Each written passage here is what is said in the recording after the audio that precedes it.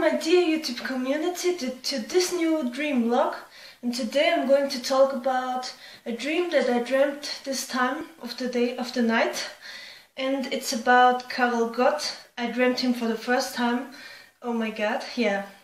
As you know Karel Gott died on the 1st of October 2019 so and this night he was in my dream which is really scary so I'm going to talk about what exactly I dreamt.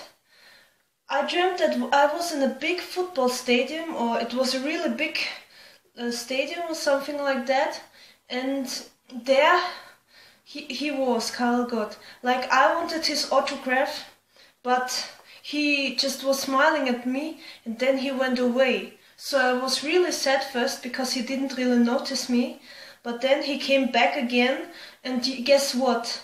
Once he came back, he gave me a candy as a present. We sat down on the floor or something like that. And it was only a really short time, and then he went away uh, and he left me the candy as a present. So, which is really interesting. Dreams sometimes can be really interesting because uh, even dreams mean something.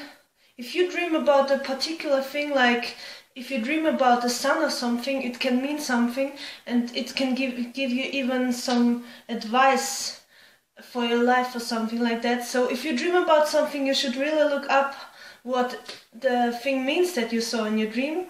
And yeah, thank you for watching, guys. And if you want to, you can write me in the comments what my dream could mean, or what special meaning it has. And bye!